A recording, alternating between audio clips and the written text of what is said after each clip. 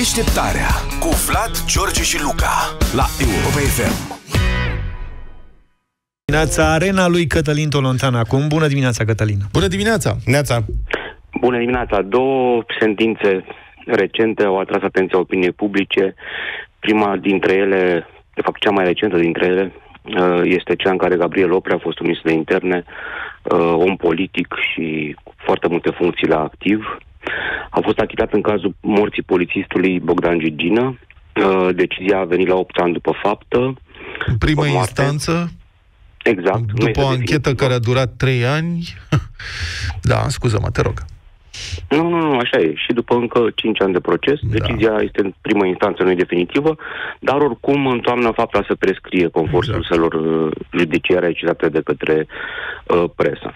Uh, o altă sentință, dată cu două zile înainte de aceasta, este cea de la Curtea de Apel de București, uh, care, deși a considerat că uh, directorii Exifarma și firma Exifarma sunt vinovați cu toții pentru falsificarea dezinfectanților din spitalele românești, uh, lucru care a dus la suferințe și la moartea oamenilor, acum am citat din ce spun instanțele, uh, a considerat că faptele s-au prescris.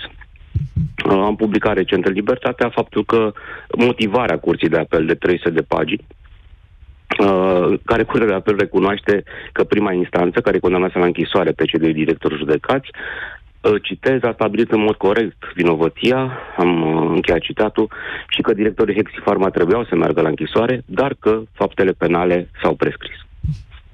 Acum, în fața unor astfel de decizii, evident că oamenii uh, se întreabă ce mai e de sperat ca să simplific. Da? E evident că există un sentiment de apatie oricum în societate, nu există o competiție politică, cele două mari partide sunt înțelese, guvernează acum și din le- declarațiile lor vor guverna în continuare și se pregătesc pentru o formulă de alegeri la anul în care să își uh, în, în, întâlnească uh, propriile interese, dar în continuare uh, împreună sau în comun măcar înțeleși măcar, dacă nu chiar pe liste comune.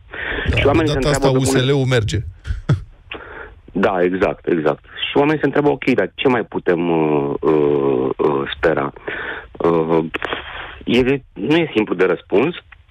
Uitându-ne la cazul Exifarma, uh, putem spune totuși următorul lucru.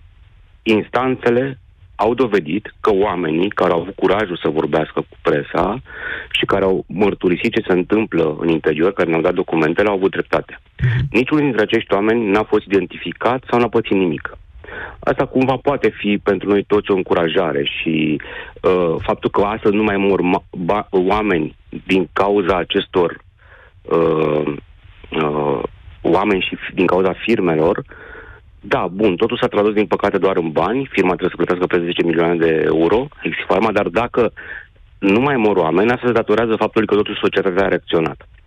A reacționat în fața acestei, acestor infracțiuni recunoscute de, de curțile noastre și e adevărat, curțile de justiție, că din păcate nu și pedepsite penal uh, pentru oamenii care au avut responsabilități. Uh,